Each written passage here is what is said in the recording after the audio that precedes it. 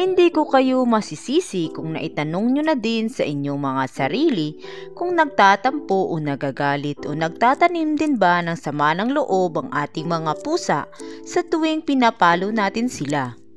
The short answer to that question is no.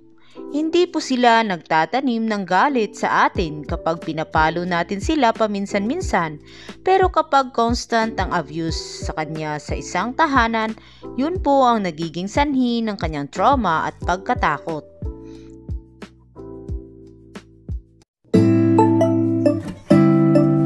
Ang mga pusa po ay may long memories kapag palagi siyang sinasaktan o inaabuso ng kanyang owner. Ito ay dahil sila ay may strong survival instincts kaya naaalala nila ang anumang abuse na nararamnasan nila for a long time. Kung sakaling napalo o nasaktan mo physically ang pusa mo sa anumang rason at nag-aalala ka kung ano ang nararamdaman ng pusa mo tungkol dito, mainam kung makinig ka ng mabuti.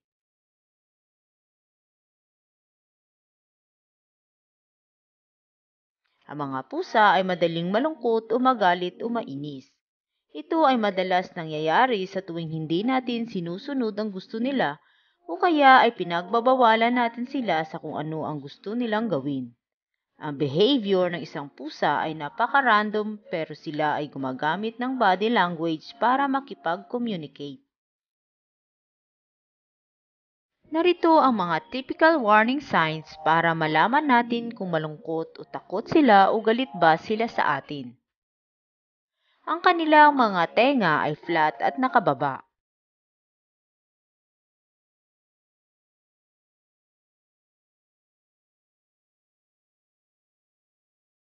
Dilated ang kanilang pupils sa tuwing titingin sila sa iyo.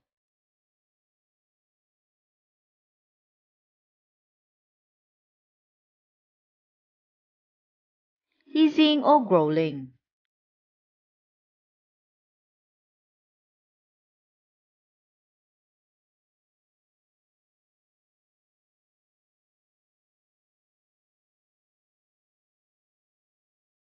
Sinaswipe ka ng kanyang paws.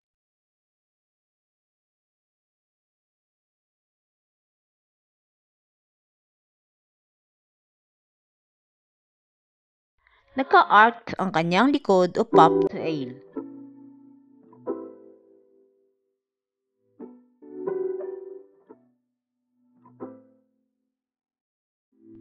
Nagtatago o kaya naman iniiwasan ka.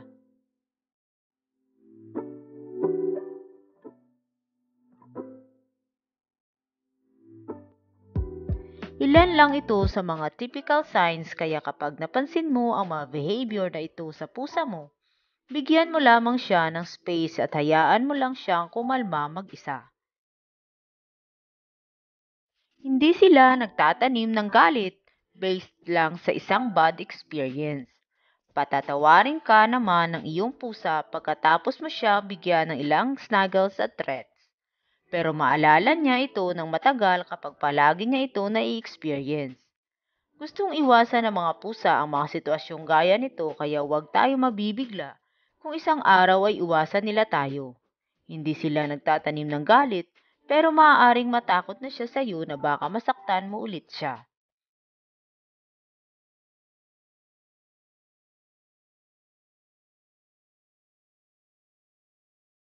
Kapag ang isang pusa ay naabuso ng mahabang panahon, siya ay maaring psychologically scarred. Ang mga traumatic events kasi ay nagsistay sa kanilang isipan habang buhay. Maaring hindi nila malilimutan ang pang-aabuso pero kaya nilang magpatawad kung bibigyan natin sila ng sapat na panahon. Hindi gaya ng sa mga aso, ang mga pusa hindi agad iniisip ng isang tao ay friendly.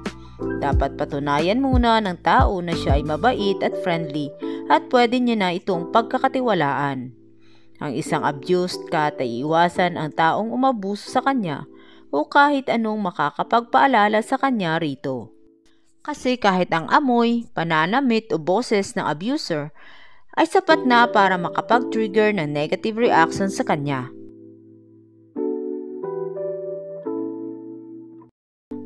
Ang unang step sa pagpa-apologize sa ating pusa ay maghintay.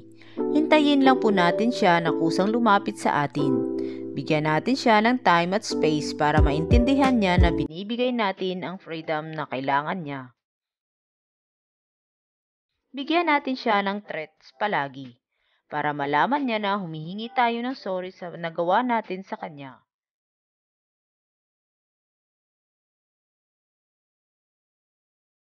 Huwag tayong magmadali. Huwag natin sila madaliin. Bigyan natin sila ng pagkakataon at panahon dahil ang painful memory ay kadalasan malaki ang kinokonsume sa kanilang behavior at mood.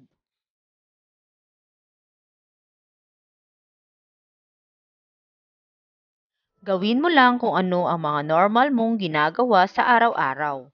Kausapin mo siya sa calm at gentle voice at kapag ready na siya, magre-respond siya sa iyo.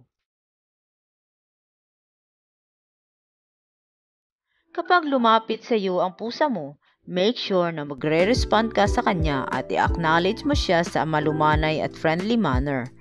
Subukan mong kausapin siya ng soft voice to make it more caring para mawala ang kanyang suspicions.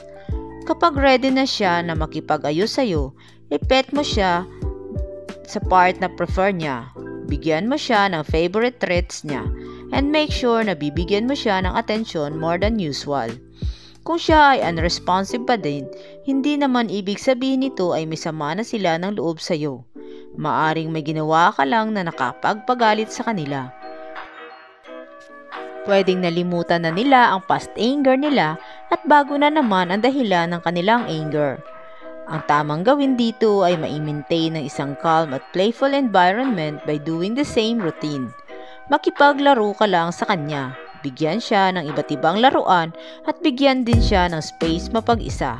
Tandaan lang po natin na ang pagiging aggressive sa ating pusa ay never maging magandang paraan para maayos ang isang problema. Iwasan natin silang saktan kung nais nating itama ang kanilang behavior. At ayun na nga mga Kamani Matters, sana ay makatulong ito sa iyong relasyon sa iyong alagang pusa. Huwag mo kalimutang mag-like, share at subscribe para sa mas marami pang fun facts at cat interesting videos. See you sa susunod na video. Paalam!